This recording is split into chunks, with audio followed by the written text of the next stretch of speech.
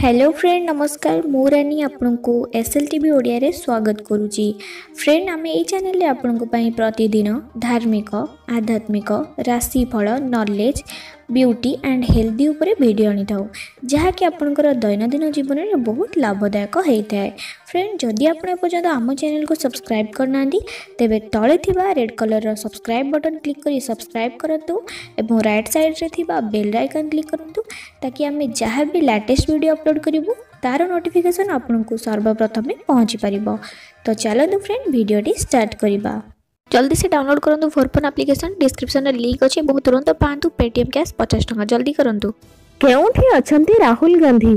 ପୁଣି ଗାୟବ ହୋଇଗଲେ କଂଗ୍ରେସ ଅଧ୍ୟକ୍ଷ ରାହୁଲ ଗାନ୍ଧୀ। ଏଗାର ଜାନୁଆରୀରେ ପ୍ରବାସୀ ଭାରତୀୟ ସହ ଆଲୋଚନା କରିବା ପରେ ଦୁବାଇ ଯାଇଥିଲେ। ଦୁବାଇ ଗସ୍ତ ପରେ କେଉଁଆଡ଼େ ଗଲେ କଂଗ୍ରେସ ଅଧ୍ୟକ୍ଷ? ଜାନୁଆରୀ ଏଗାର ତାରିଖ ଦୁବାଇରେ ପ୍ରବାସୀ ଭାରତୀୟଙ୍କୁ ଭେଟିବା ପରେ ରାହୁଲ ଗାନ୍ଧୀଙ୍କୁ ଆଉ ଦେଖିବାକୁ ମିଳିନଥିଲା। ଜାତୀୟ ଗଣମାଧ୍ୟମ ଦ ଫ୍ରିଣ୍ଡ ଉଲ୍ଲେଖ କରିଛନ୍ତି କୋଲକାତାରେ ମମତା ବାନାର୍ଜୀଙ୍କ ମୋଦି ବିରୋଧୀ ସମାବେଶରେ କଂଗ୍ରେସ ଅଧ୍ୟକ୍ଷ ଯୋଗ ନ ଦେବା ପରେ ପୁଣି ଥରେ ଚର୍ଚ୍ଚାକୁ ଆସିଛି ରାହୁଲ ଗାନ୍ଧୀଙ୍କ ଅନୁପସ୍ଥିତି।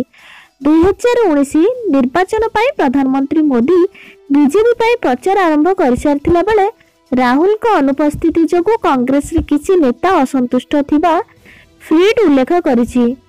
ସେହିପରି କିଛି ନେତା ରାହୁଲ ୟୁରୋପରେ ଥିବା କହିଛନ୍ତି ଆଉ କିଛି ନେତା ରାହୁଲ ଗାନ୍ଧୀଙ୍କ ଗସ୍ତ ବିଷୟରେ ଅବଗତ ନାହାନ୍ତି ବୋଲି ଜଣାଇଛନ୍ତି।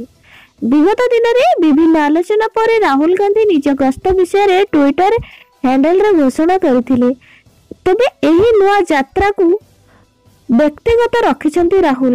କଂଗ୍ରେସ ଅଧ୍ୟକ୍ଷ ରାହୁଲ ଗାନ୍ଧୀଙ୍କ ବିଦେଶ ଭ୍ରମଣକୁ ବିଜେପି ସବୁବେଳେ ନନ୍ ସିରିୟସ୍ ଲିଡ୍ରେ ଭାବେ ସମାଲୋଚନା କରି ଆସୁଥିବା ବେଳେ ରାହୁଲଙ୍କ ଅନୁପସ୍ଥିତି ବିଜେପିକୁ ପୁଣି ସୁହାଇଲା ଭଳି ଲାଗୁଛି ଏହା ଦ ଫ୍ରିଡ୍ରେ ଉଲ୍ଲେଖ କରାଯାଇଛି। ତ ପ୍ରକୃତରେ ରାହୁଲ ଗାନ୍ଧୀ କେଉଁଠି ଏବଂ କ'ଣ କରୁଛନ୍ତି କେଉଁ ଗସ୍ତରେ ଯାଇଛନ୍ତି କେଉଁଠାକୁ ଯାଇଛନ୍ତି ଏସବୁର ଏପର୍ଯ୍ୟନ୍ତ ଖୁଲାସା ହୋଇନାହିଁ। ଯଦି ଏହିସବୁ ବିଷୟରେ ଆମ ହାତକୁ କିଛି କିଛି ବି ତଥ୍ୟ ମିଳେ ତ ଆମେ ଆପଣଙ୍କୁ ନିଶ୍ଚୟ ଜଣାଇବୁ।